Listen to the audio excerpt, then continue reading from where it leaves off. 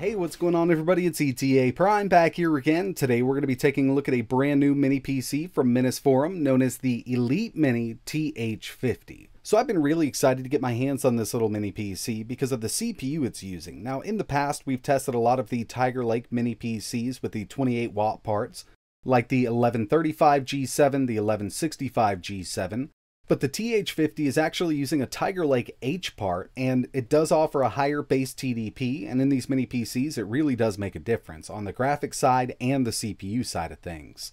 This also supports Thunderbolt 4, so we can connect Thunderbolt peripherals to it, like one of my favorites being a Thunderbolt eGPU, and we will test that by the end of the video. But as you can see, we've still got a very small form factor PC here.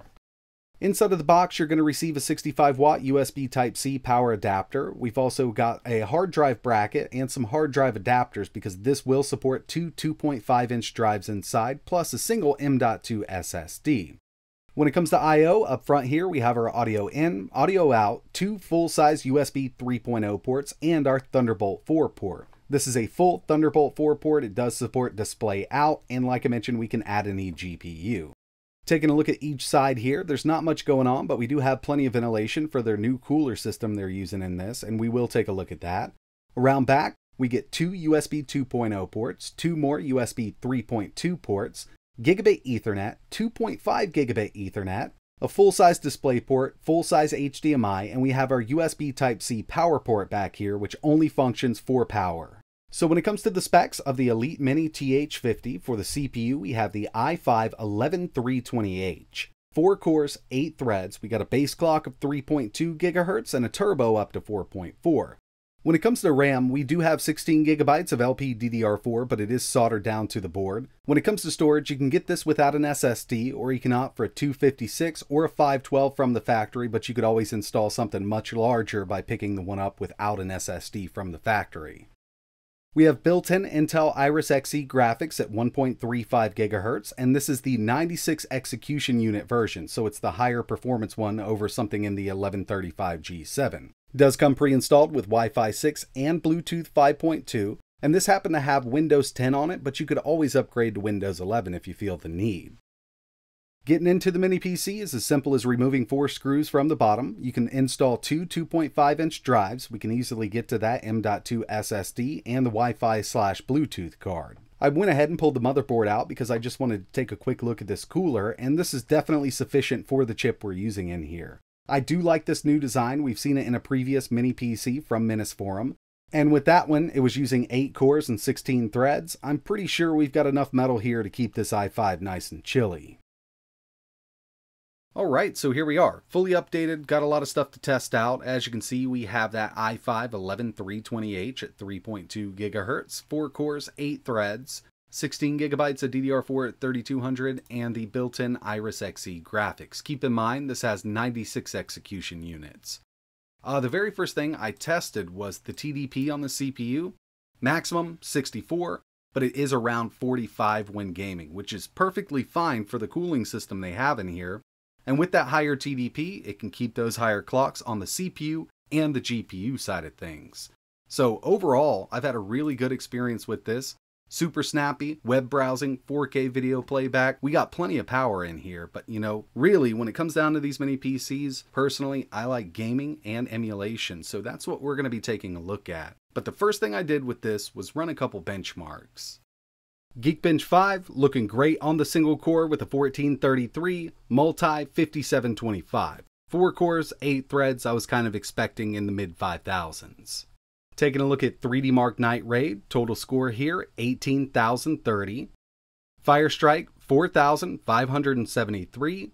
And finally, we have Time Spy with a 1817. Not bad for integrated graphics, but you know with the 1165 G7 at a higher TDP in the NUCs and the smaller PCs I test, we've been able to score around the same amount here. So we need to get into some real world gaming to see how this thing's going to perform. First up, we have Forza Horizon 5, 900p low. We're getting an average of 65 FPS out of this one. It's actually doing a pretty decent job for 900p on these integrated graphics. Now if you did want to run this at 1080 high, you can run this at 30 FPS and in the settings we can lock it there. But personally, I do like playing at 60 and with something like this, I would always lock that VSync on when I'm playing normally.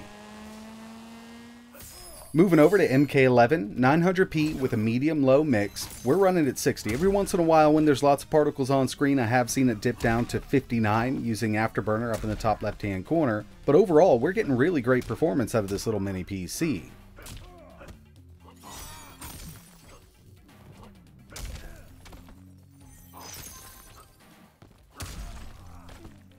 Next on the list, we have Genshin Impact 1080p Medium, and to tell you the truth, I would probably drop some of these down below. I did turn Bloom off, but as you can see, when there's lots of particles on screen, you will get some dips here and there.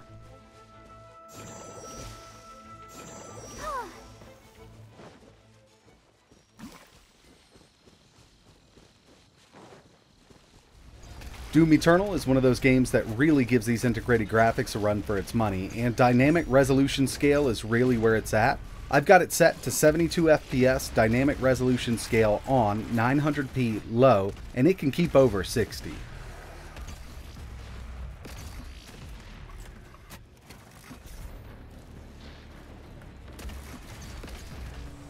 GTA 5 did much better than I thought it would, and in the past on these Intel Iris Xe graphics, I've always had a hard time running this game. It always performed much better on Radeon, but looking at what kind of wattage this thing puts out, and we can keep those clocks up high, on this 11320H, this is actually some of the best performance that I've seen out of integrated graphics.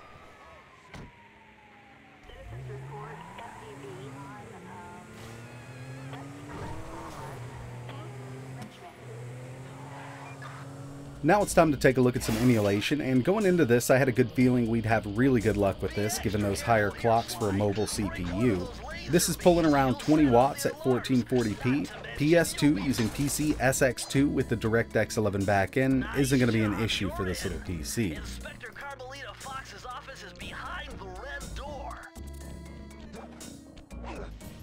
I also wanted to test some original Xbox, and unfortunately I do have to mute it right about now because of the music in the background.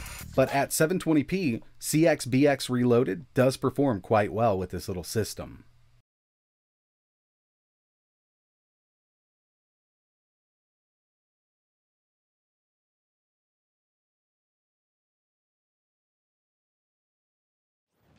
Wii U is another one I always like to test, so here we are with Cemu, Vulkan backend, Smash upscaled to 1080p, running at 60.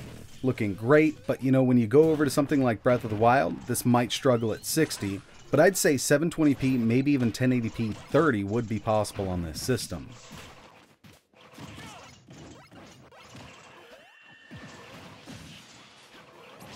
And finally, for the emulation section, we have some PS3 using RPCS3, Vulkan backend, 720p. Most of the stuff that I tested actually performed really well. I was having some weird issues with Skate 3, and that's usually my go-to.